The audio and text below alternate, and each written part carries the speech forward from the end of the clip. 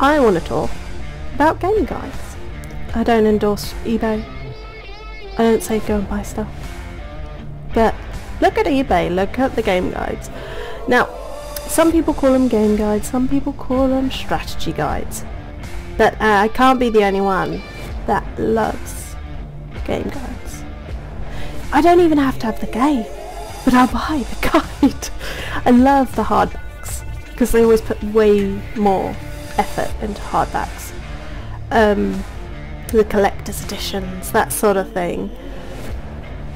But I can't be the only one who loves game guides, so I wanted to ask, do you have a favourite game guide? I know a few people, not Dad, Dad please don't comment. I know a few people watch my videos. Do you have a favourite game guide?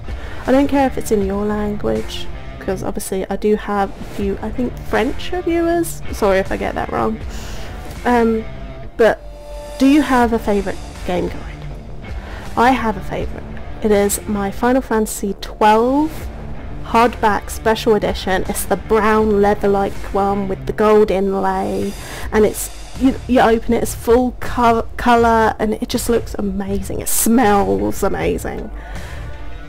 But I want to know, do other people have this fascination with game guides? Because I've just bought a few. I don't have the games. I've bought a few. Uh, and I absolutely just love reading them. And obviously some of them are ridiculous prices because of how old they are. Um, ooh, that one's new. haven't seen that one. But you also get a few weird ones in here, like encyclopedias, like Pokemon ones, where it's like, it's uh, an event that might or might not happen in those games. So it's it's a percentage, probability. Ooh, look at this one. Has Prince. Anyway. It's not even that much. I could bet on it. I have an addiction. What is your favourite game guide? Comment it, tweet me. I have Twitter.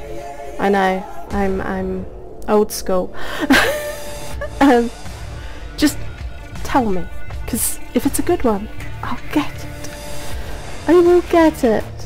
Oh, I love you.